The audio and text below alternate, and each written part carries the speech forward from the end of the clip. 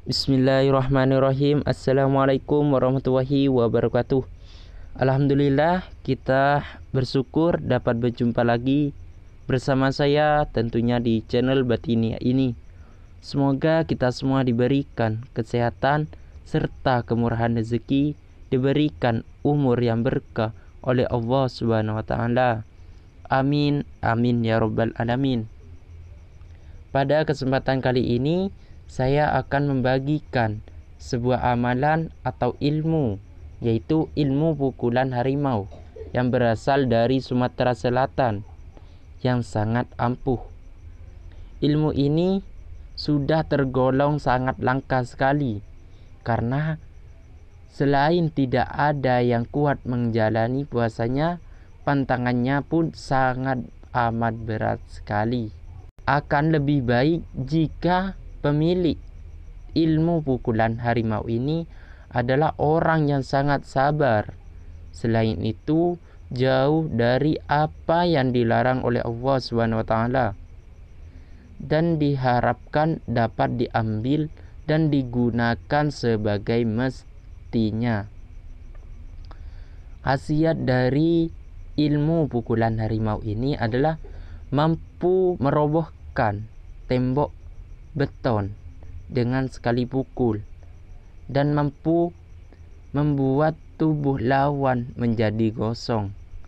Ilmu ini berasal dari Sumatera Selatan yang dulu dikenal sebagai Bumi Sriwijaya.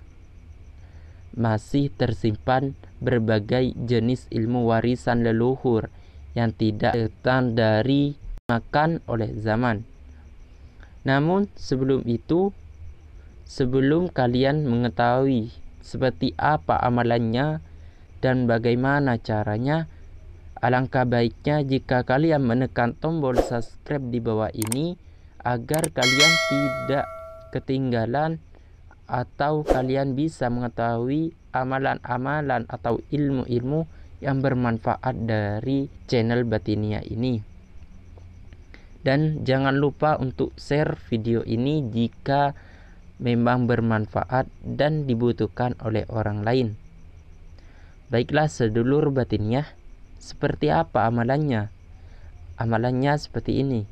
Bismillahirrahmanirrahim. Epe epe ku gade gelap. Lenganku gade gelap. Tanganku gade besi. Jeri-jeriku gade gunting Basingku cekal remek. Basingku sumber petung Akulah anak harimau Allah Hak mutlak kata Allah. Caranya adalah Siapkan penggorengan yang berukuran besar Yang biasa digunakan untuk masak Pada saat pesta. Dan siapkan sejengkal rotan.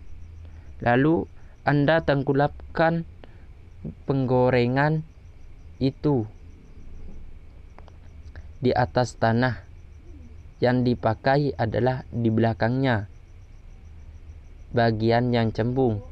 Untuk Anda duduk bersila sambil membaca mantra di atas.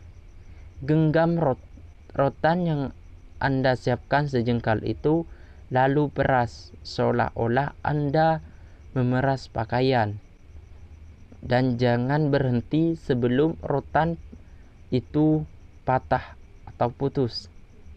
Jika rotan itu sudah putus, berarti Anda sudah menguasai ilmu itu. Tidak ada ritual khusus untuk memulai ritual ini. Yang terpenting tidak terlihat orang dan selalu dalam keadaan suci.